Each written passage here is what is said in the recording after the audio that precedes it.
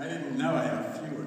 How, how much time? Long as Oh, as long as It's 8.30 if you have somewhere else to be tonight. Take care of yourself. You can leave whenever you have to. Because I have nowhere else to go.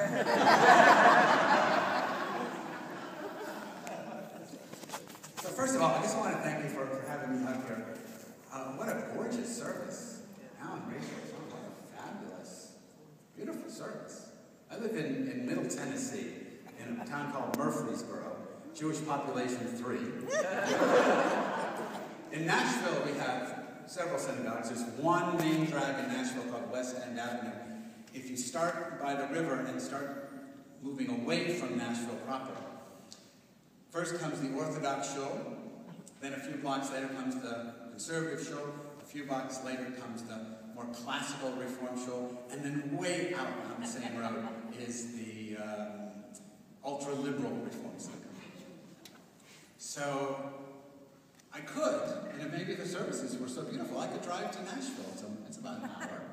And, and maybe if the services were this good, I would go. but probably not. so I want to talk to you about three things. First one is I want to talk to you about this place. Then I want to talk to you about uh, India. And then I come back and talk to you about this place. And I promise it's going to make sense, either because it actually makes sense or I'll go on so long, you'll be so sleepy if it must have made sense I just so let me talk about this place first. The building here is from the early 1920s. Got that incredible feel, you know, of, of the, that, that period gorgeous lights, just a phenomenal space, this, this sanctuary. I grew up in a similar sanctuary, but it was Orthodox. So we had an upstairs balcony where all the women were. That's what the real action was. The men were down here balconying, but if you wanted to find out what's going on in the world, you went upstairs and kids with the women.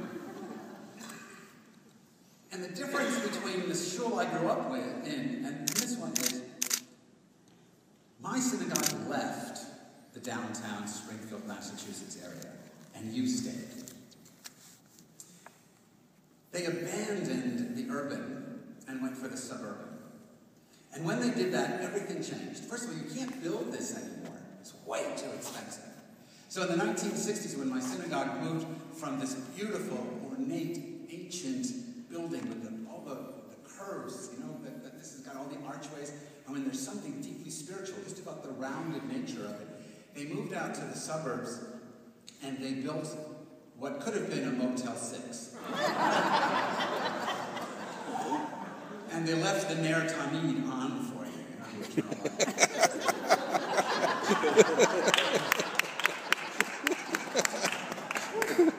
but it was, it could have been anything. It could have, it could have been anything. The synagogue in town became a church, which was good because then it still had some, some spiritual vibrancy going on. But when we moved to the suburbs, we left all our spiritual vibrancy back in that dome building, and we it's very hard to get spiritual in a Motel 6. the building was flat, and the music became flat, and the spirit became flat. And we were all living in this isolated ghetto in the suburbs. Now, we weren't the only ones. I'm not saying ours was the only synagogue. There was a conservative synagogue across the street and a reform synagogue around the corner. And their buildings were a little bit ornate than ours because they had moved there earlier before it was so expensive. But we all competed on who could be the most boring. Nothing was happening in those synagogues. Now, the Orthodox synagogue is no longer there. My dad davens every day, and now he davens at the conservative shul. He was very nervous about it. They had a, they had a woman rabbi, which, you know, that freaked him out. But she lays tefillin, she puts tefillin on in the morning, he was cool with that. But the smartest thing they did when they when the Orthodox synagogue closed and they invited the members to join the conservative is they took the seats, you know, this these rows, they took them out of the Orthodox shul and they put them in the back of the sanctuary in the conservative shul so my dad could sit in the same seat with all his friends in their old seats molded to their butts from decades of use. And he felt at home. But you stayed. That's an amazing stayed. Now, I know when I first moved here in the 80s, you tried to go to Kendall. It had a satellite in Kendall. And it was a fun place to be. But I, for whatever reason, we decided to focus here, which I think is great. But what do you do with this now? Which brings me to India. Yeah, I think you should move the whole place to India. All right, so let's let's just hold that thought. I'm leaving you hanging here. I want to talk about India, and then we'll come back. So in September of 2012, I was in India. It was my second trip to India.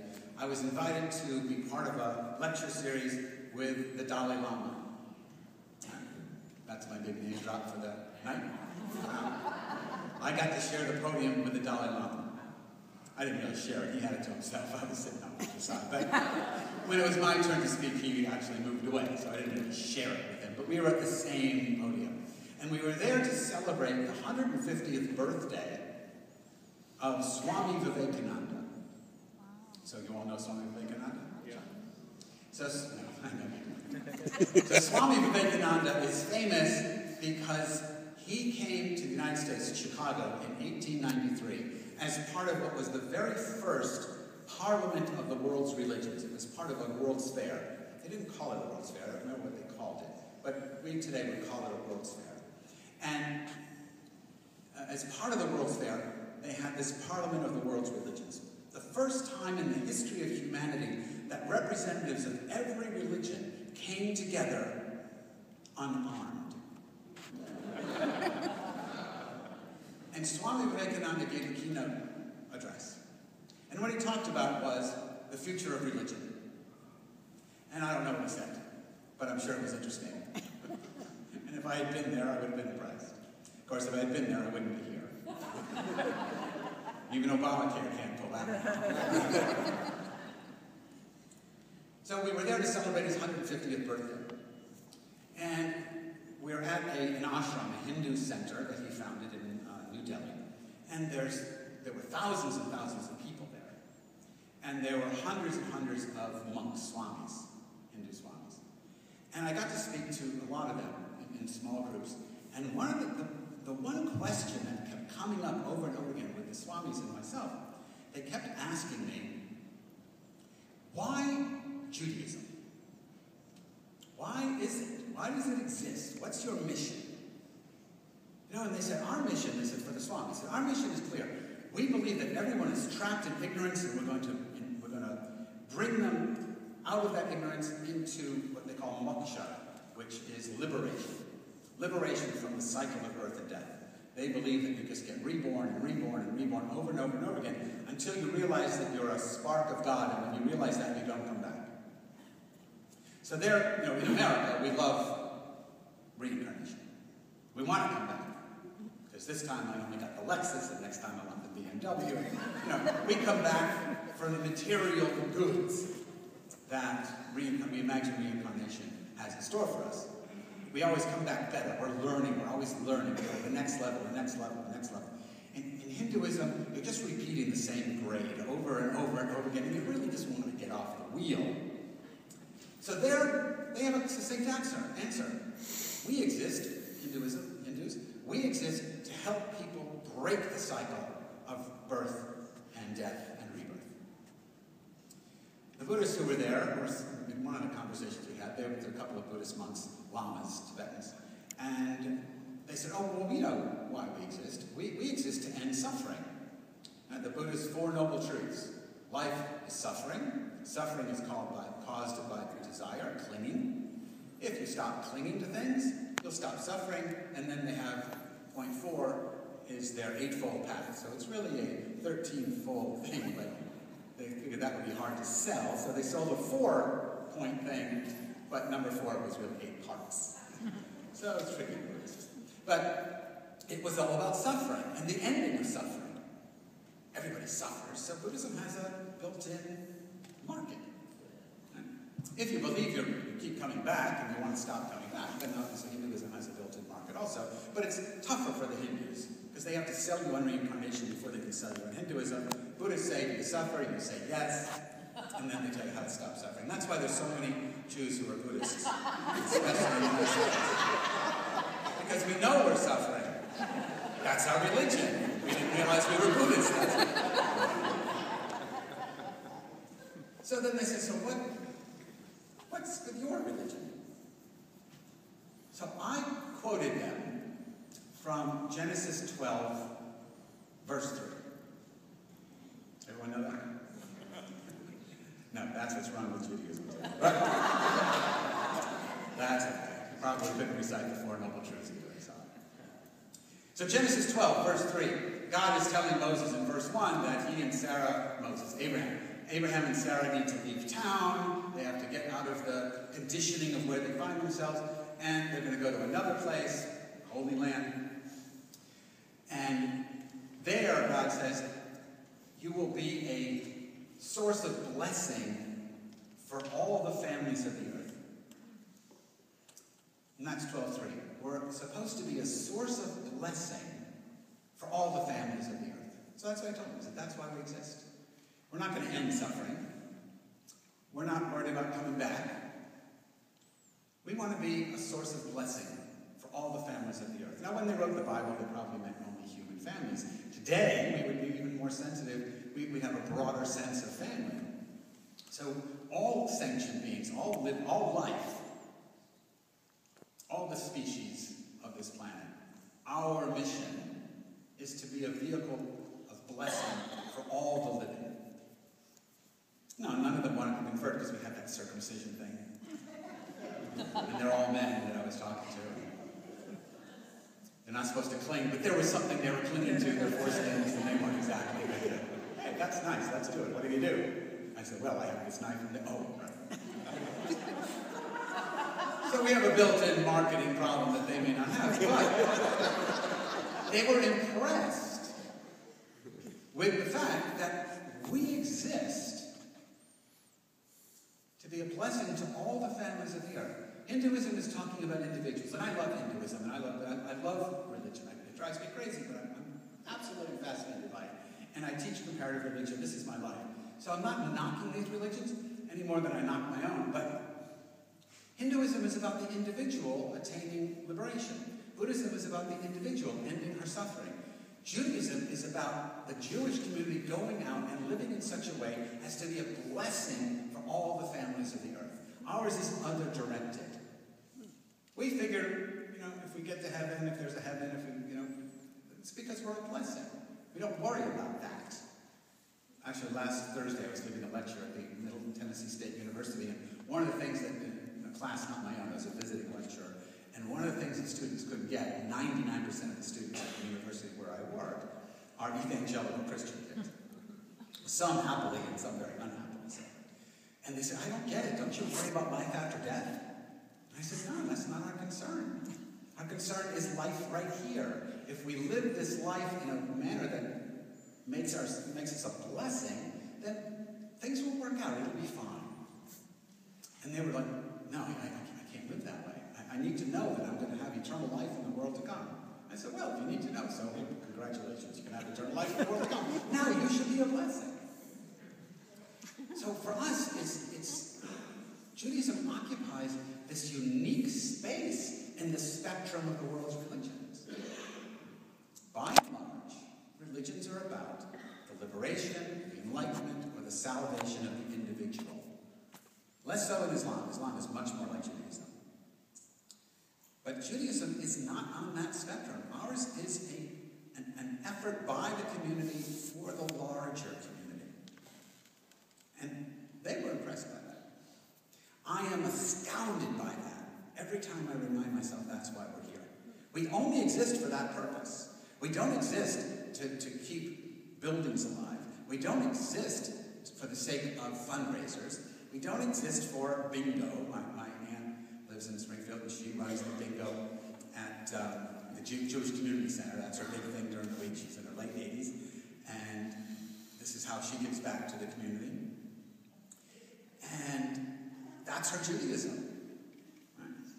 But that's really not Judaism, unless playing bingo is somehow being a blessing.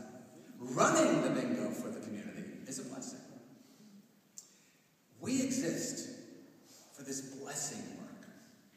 But how many of our kids are taught that? How many of us are taught that? How many of us get up every morning and say, I'm a Jew, uh, what am I going to do to be a blessing today for all the families of the earth? I mean, I don't know the answer to that, but that's a question we should ask ourselves. Judaism is not static.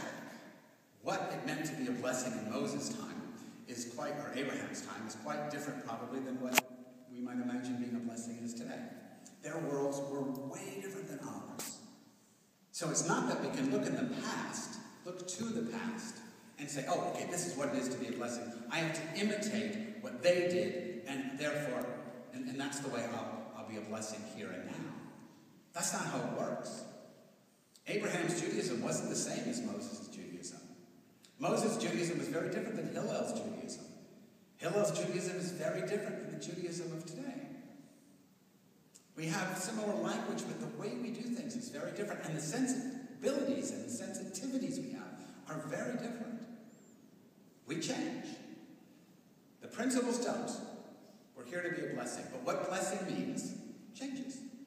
And the only way we know how it changes is if we engage in conversation with one, with one another about what it means to be a blessing to all the families of the earth. Which brings me back to this building. What do you do with this place? Now, if I've got my math right, you're in your 90th something birthday, right? Yeah. Right? I don't mean you personally, but some of us. yeah. yeah. No, I mean the building itself, the synagogue itself. 91?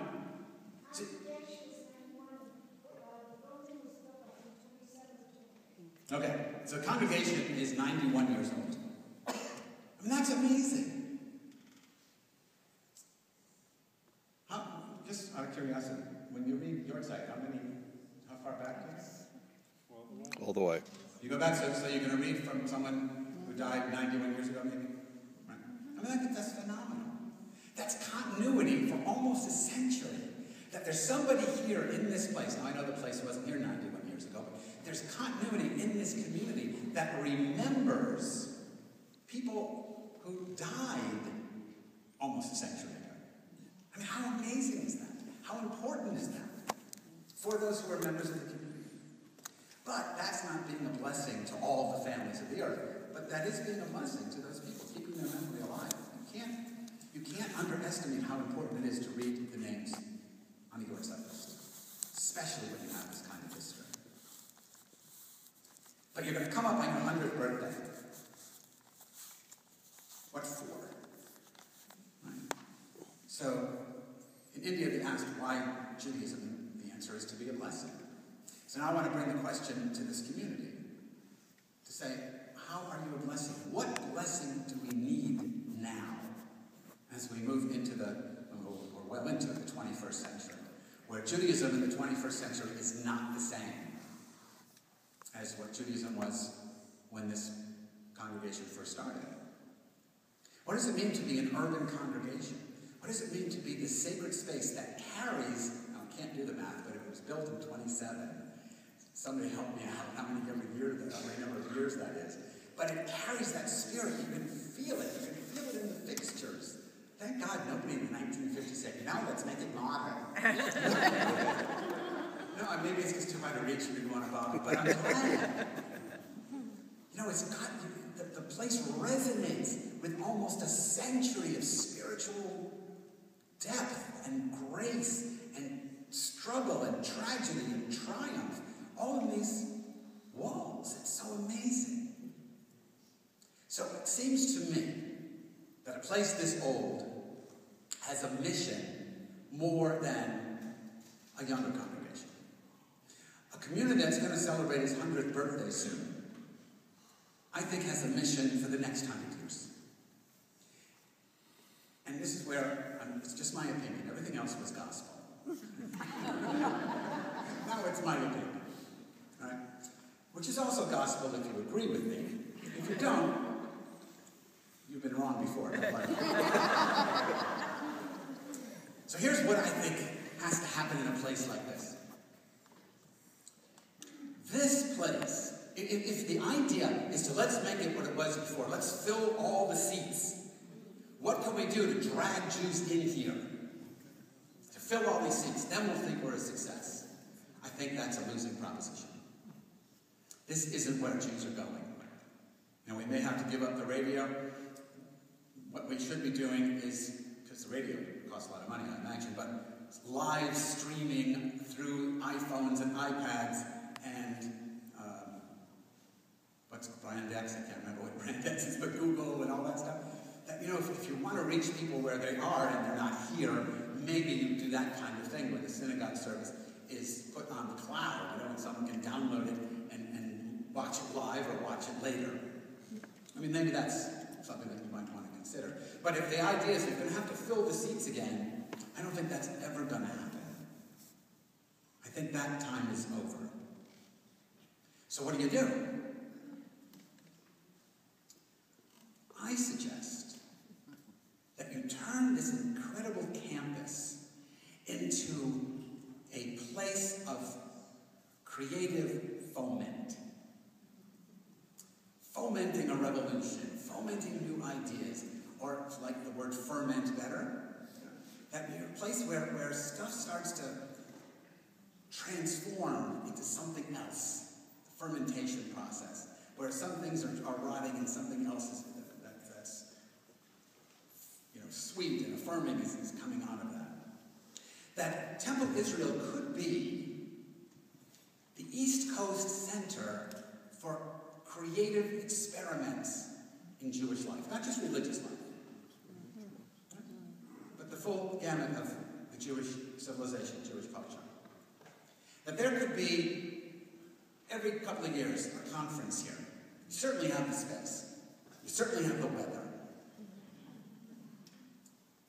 A conference here on different things. So let's say you do one on Jewish leadership. You're familiar with TED Talks? Right? Make this a place for, what do you mean TED? Tom Talks.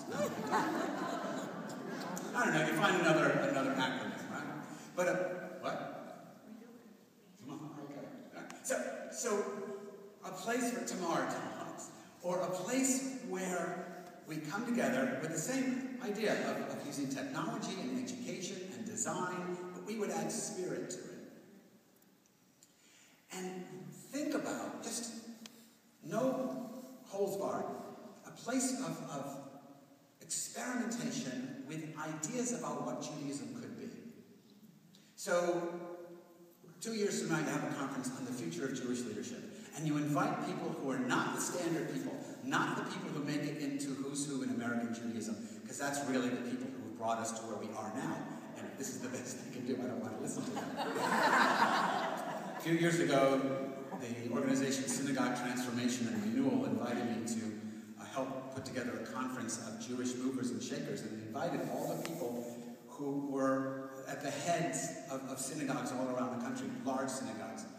And I said, these are the wrong people. First of all, these are the people who are making a lot of money, making good salaries on the status quo. So they don't want to change anything. And secondly, the status quo that they've given us is not really attracting anyone in the future so they've succeeded, but their success is ultimately going to be the failure of tomorrow. We invite the wrong people. We have to invite people that we never heard of. People who are just coming up with new ideas that nobody wants to listen to because they seem so outrageous. But maybe in that conversation with some of these creative, on the edge thinkers, new ideas would come that people would test, would try. That Temple Israel become a place where all kinds of ideas are just spun out. Now, the congregation itself could test things. This could also be not just a think tank, but a place for beta testing. You could try stuff, real people in a real congregation to see what works and what doesn't, at least for you. And then say, nah, this one needs tweaking, or this one is never going to work, or this is great. So maybe a conference on Jewish leadership where we reimagine what it is to be a Jewish leader, whether we're talking about cantors or rabbis or, or uh, educators, synagogue presidents, maybe the whole idea of the country club synagogue, you know, you join, there's membership dues. Maybe there's a new model we have to explore, new kind of leaders that would be more, lead us in a different direction. A few couple of years after that, maybe you do uh, a conference on creative liturgies, not just what passes for spirituality in so many synagogues, hand clapping. In a lot of places, if you clap hands, we are spiritual. You know, and that's that song. If you're spiritual and you know it, you know, a lot of us went to, to Jewish camps and we went, oh, I want Jewish camp. Right? So we clap and we drink bug juice. bug juice. And we think, oh, that's so spiritual. But I don't know what spirituality is in the 21st century. We could explore that. What might that mean? What might it mean to be a blessing in the 21st century?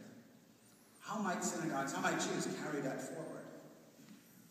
This place with such history could then be the anchor in, in a power, in a positive way, I mean anchor dragging you back.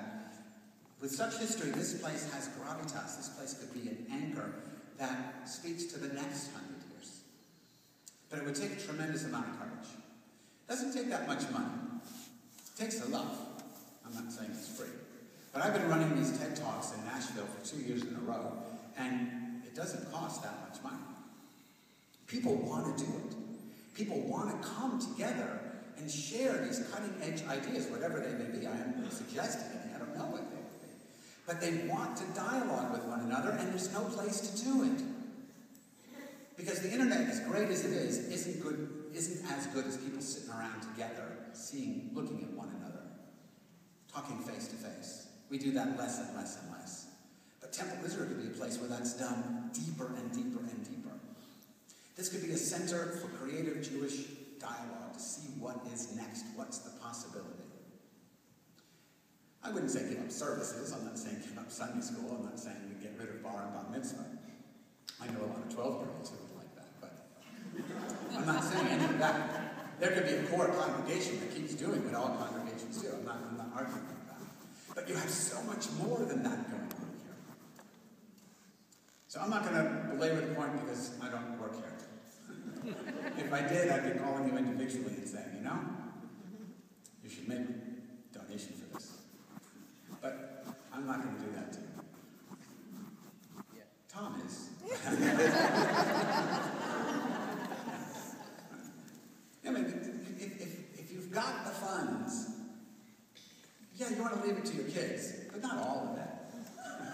right? They don't deserve all of that. But to leave a legacy, you know, if you ever read the book of Ecclesiastes, he says, don't leave it to your kids, you're just going to waste it. But if you created something that was dynamic, that looked forward a hundred years, that's a legacy. And that's a powerful legacy to live, to leave. So, when asked, what is this Jewish thing? Why are we this? Why have we existed for thousands of years? The answer is to be a blessing to all the families of the earth. And then when the question next is how, say, well, we're working on it. And this is the place on the East Coast where that work is happening. It would be a tremendous gift to give yourselves for your 100th birthday. And to give to Judaism globally for their second 100th birthday. Thank you. Good job.